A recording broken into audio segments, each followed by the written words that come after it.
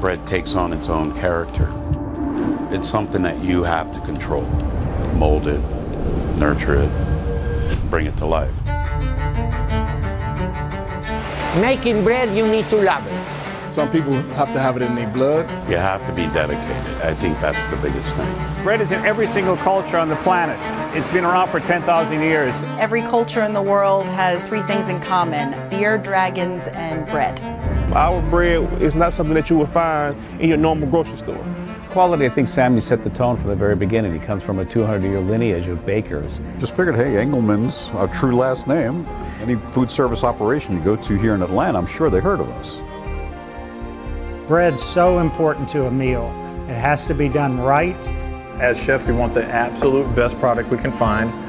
That's going to be Engelman's. Quality for us is a big deal. We could go with any company in Atlanta, and we have exclusively chose Engelman's for that reason. Quality bread, it has to be consistent. Perfect bread is consistent bread. We've been doing business with Engelman's for over 20 years. By far the most consistent and best vendor I do business with. So these are a few different options that we use from Engelman's, 10 to 12 different varieties of bread. How long have I been an Engelman's customer? 20 some odd years. Some customers are getting product that was baked at 1 o'clock last night that's going out 5 o'clock this morning. So, yeah, they're getting fresh product. This is the heartbeat right here. Being focused on what you're doing, on mixing those doughs, because it starts there. It's not rocket science, but there is a science behind making bread.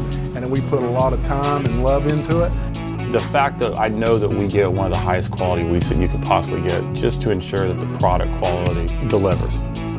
When it got to someone's table and they taste it, man, man, this is some good product. So you get that satisfaction out of it. Good afternoon. Thanks for calling Engelman's. Brenda speaking. How may I help you? Okay, this is for tomorrow's delivery. Something about bread and food just brings you together. Everybody just love their job. Everybody get, gets along with each other, and uh, everybody have each other back.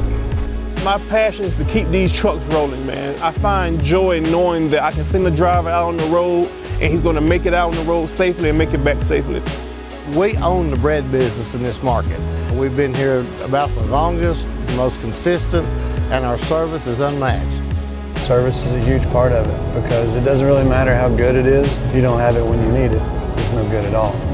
We get bread on the table. I mean, we find the way, no matter what happens, we continue to put bread on the table. You know, the customers are part of our family. If a customer has a situation, we are doing our best to get it taken care of immediately. The future's bright. We're here to nourish lives. And uh, as we pass that down, I can't see anything holding us back from growing because we share it with everybody.